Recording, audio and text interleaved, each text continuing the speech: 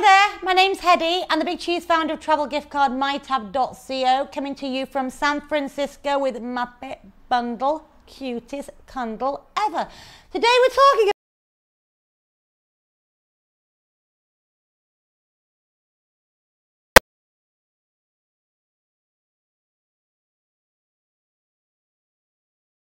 and you restaurants. I'm going to show you some examples of some different restaurants and um, some different restaurant slogans and why it is relevant for them to use different fonts. Don't think that one size fits all. If anybody tells you that, throw them out that house or that restaurant.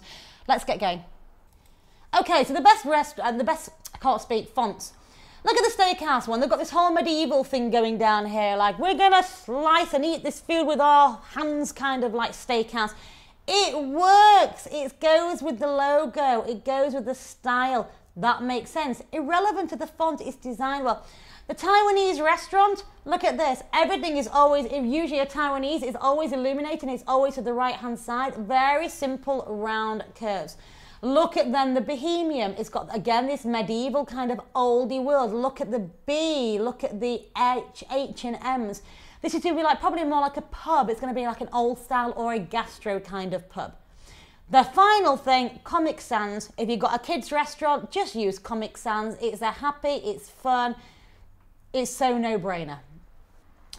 So there's no specific font that you should be using. Oh, somebody just woke up and then just moved. Is there a specific font that you should be using? Say, say if you've got something like a really, really cool restaurant or you've got a really cool bar or a gastro pub or something, you might want to use really thick, wide lettering. I'm thinking of like DKNY, Donna Karan, that kind of very, very thick lettering. Or you may want to do something very fine and scripture, which then looks like it's an incredibly expensive restaurant because it's elegant writing of font. Don't think that one size fits all. Look around for competitors and see what they have in their kind of style and font, and maybe just do something similar because it's working for them. It's going to work for you.